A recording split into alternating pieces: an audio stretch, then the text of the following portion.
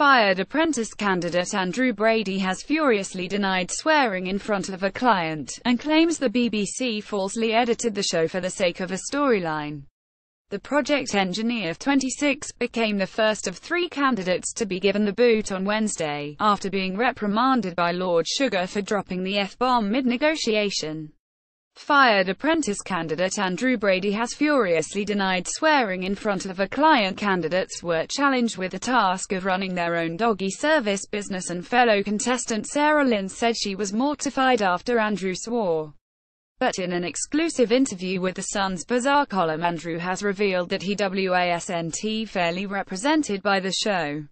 He said I didn't swear at the time it was portrayed in very p-off because it was put in at a time to deliberately make me look bad. It is total BS.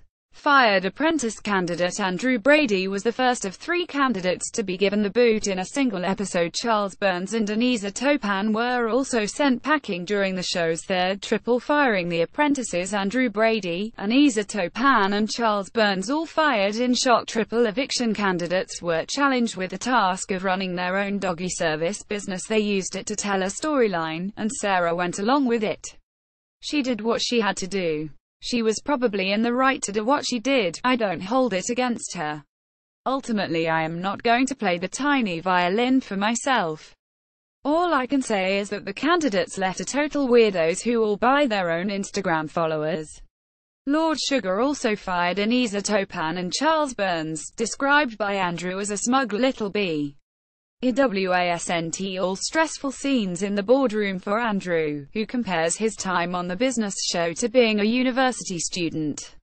Sarah Lynn claimed she was mortified after Andrew allegedly dropped the F-bomb in front of a client. Andrew admitted to feeling like he was back at university during his time on the business show after The Sun revealed he bedded fellow fired candidate Anisa Im a celeb star Jack Maynard axed for begging fan. 14 for photos Katie Price's kids set to become the new faces of McDonald's Happy Meals apprentice star cheated on her fiancé and shows multi-million pound pad. I learned as a gay kid how damaging homophobic tweets like Jack Maynard's can be Bake-Off's Paul Hollywood snubs estranged wife in TV show about his life. The Sun revealed that Andrew bedded fellow hopeful Anisa, who is now married, during filming of the show.